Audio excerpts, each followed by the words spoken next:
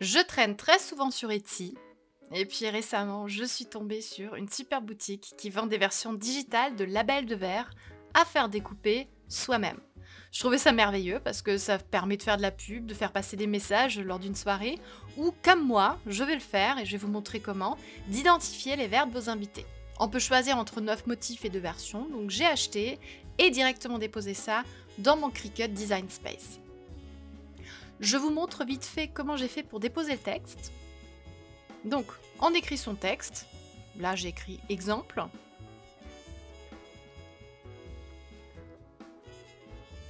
Hop, vous rapetissez un tout petit peu. Voilà. Et maintenant, il suffit de cliquer sur courbe et de bouger le curseur pour le faire bouger dans la direction souhaitée. Et maintenant, vous allez me dire que les lettres, elles sont beaucoup trop écartées. Et oui, c'est vrai. C'est pourquoi il y a une option isoler chaque lettre. Donc c'est dans les options avancées, dégrouper en lettres. Et là, vous pouvez repositionner chaque lettre comme vous voulez.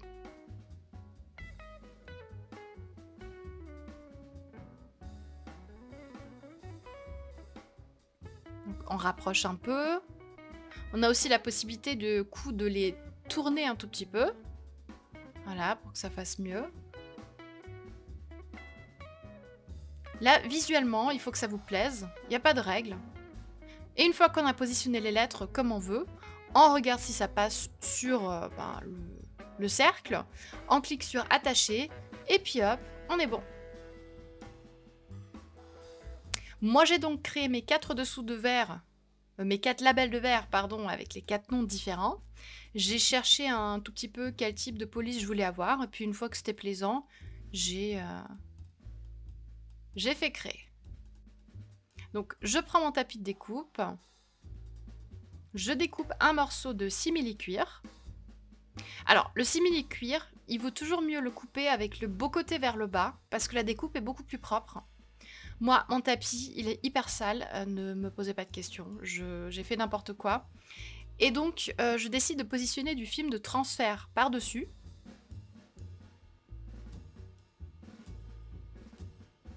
Voilà, j'enlève le film de protection.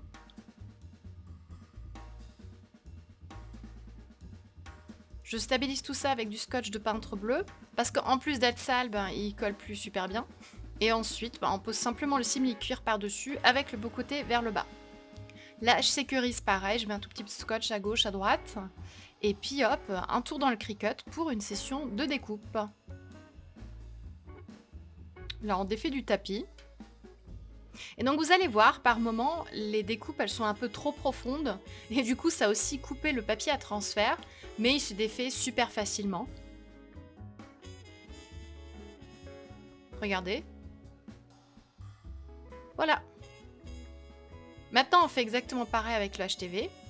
Alors, n'oubliez pas de le mettre au miroir, hein, parce que ça m'arrive tout le temps d'oublier. Je me retrouve ensuite avec plein de HTV euh, à l'endroit, et après, c'est plus bon. Donc, on découpe autour de la découpe. Phrase bizarre. Et on commence le weeding. Je vais vous montrer ça d'un peu plus près pour que vous voyez le travail que c'est.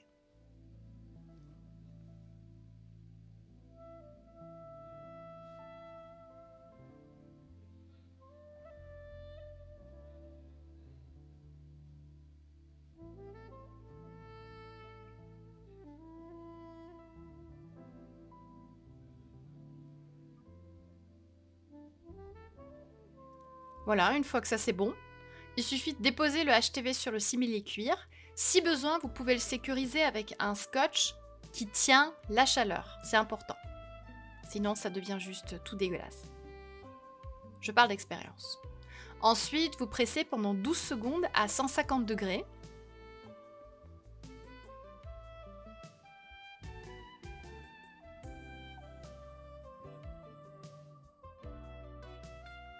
Et voilà, maintenant vous pouvez enlever le film de protection et le scotch. Il faut juste attendre que la HTV soit un tout petit peu refroidi, sinon ça se décolle avec.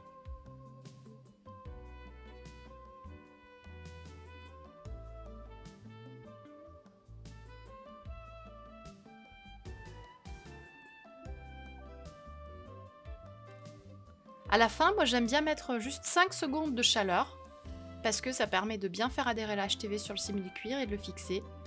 Et puis ensuite, on est bon. Regardez.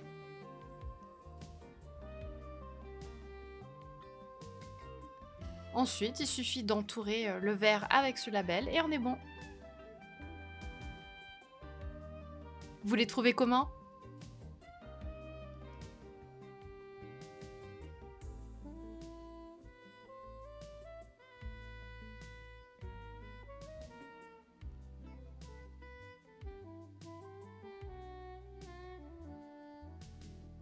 Si la vidéo vous a plu, abonnez-vous et mettez-moi en commentaire quel type de déco vous aimez créer pour votre table quand vous avez des invités. Je vous dis à bientôt